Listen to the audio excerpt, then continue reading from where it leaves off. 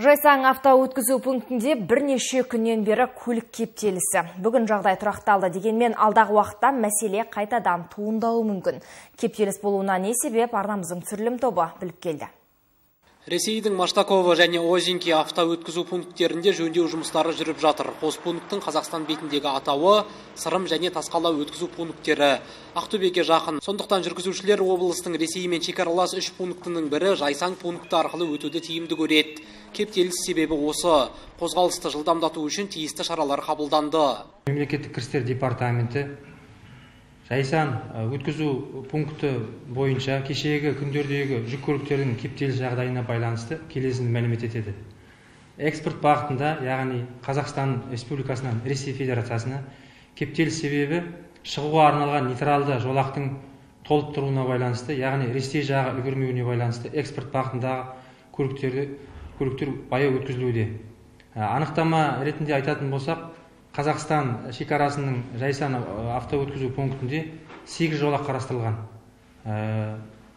Яғни төртеуі шығуға төртеуі кіруге.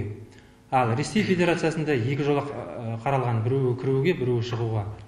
Автокөліктердің қозғалысын бақылауды реттеп оны кіргізіп шығаратын және де жеке тұлғаларға тексеріс жұмыс жүргізулерін шекара қызметінің құзырына кіреді. Ресей федерациясынан жүк көліктерінің көлемі көп келуіне байланысты осы төрт жолақтың үшеуін жүк көліктеріне арнап қалған бір жолағын автобустарға және де жеңіл автокөліктерге арналды. Дәл осындай жағдай кіруге де шығуға да қарастырылды. Пункт арқылы бұрын күніне шамамен 900 көлік кірсе кейінгі күндері бұл сан 1100-ден асқан. Бір жүк көлігінің құжаттарын тіркеп оны ақпараттық жүйеге енгізу үшін шамамен 5-7 минут қажет сонымен қатар әлеуметтік желіде пунктте тек бір терезе қызмет көрсетіп жатыр деген ақпарат жарияланған болатын. Жауаптылар бұған қатысты пікір білдірді.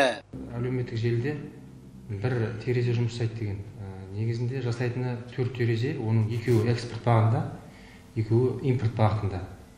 Жаңағы кептелістің болу себебі саратов облысы батыс қазақстан облысымен көршілес.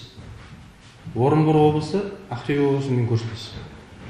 Саратов облысына кіретін маштакова сырым батыс қазақстанға қарай және де ә, тасқала мен ә, өзенкей батыс қазақстанға кіреді енді ол жақта ремонт жөндеу жұмыстары жүргеніне байланысты ана европадан келе жатқан россиядан келатқан жүк көліктері енді олар бір бірімен хабарласады ғой бір бірлерімен байланыстары бар қазір әлеуметтік желі бар ана жерде жұмыстар жүргізіліп жатқасын кептеліске байланысты олар нені таңдайды альтернативаны таңдайды ақтөбе облысын таңдайды ақтөбе облысын таңдаған уақытта бізде орынбор облысы арқылы елегі арқылы шагарчин арқылы біздің жайсанмен кіреді немесе ол жақта кептеліс болып қалып жатса ары қарай шығысқа қарай қозғалып қостанаймен де кіруі мүмкін альтернатива іздеп одан ары қарай солтүстік қазақстанмен кіруі мүмкін.